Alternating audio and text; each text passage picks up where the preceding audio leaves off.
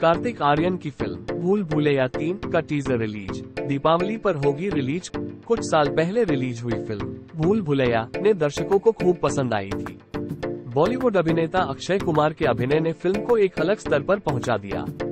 फिर आया इस फ़िल्म का दूसरा भाग। इसमें अक्षय की जगह अभिनेता कार्तिक आर्यन नज़र आए थे। फ़िल्म ने बॉक्स ऑफ़िस पर रिकॉर्ड तोड़ कमाई की।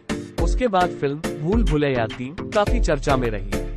कार्तिक आर्यन ने भूल भुलैया तीन का टीजर सोशल मीडिया पर रिलीज़ कर दिया है। टीजर की शुरुआत एक हवेली से होती है। तभी रूह बाबा बने कार्तिक की आवाज़ सुनाई देती है। रूह बाबा कहते हैं, क्या सोचा? क्या कहानी खत्म हो गई है? दरवाजे बंद हैं कि एक दिन हमें उन्हें फिर से खोलना होगा। इसके आगे फ़िल्म का गाना, आमी जे तोमार सुनाई देता है। कार्तिक आर्यन ने टीजर शेयर करते हुए लिखा, रूह बाबा रिटर्न दिवाली 2024 यानी ये हॉरर कॉमेडी फ़िल्म दिवाली के मौके पर रिलीज़ हो सकती है। फ़िल्म भूल भुलैया दो की बात करें तो फ़िल्म ज़बरदस्त हिट रही थी। फ़िल्म बॉक्स ऑफ़िस पर हिट रही थी। ये 2022 की सुपरहिट फ़िल्म थी। अब देखना दिलचस्प होगा कि तीसरे एपिसोड में कार्तिक के साथ कौन नज़र आएगा।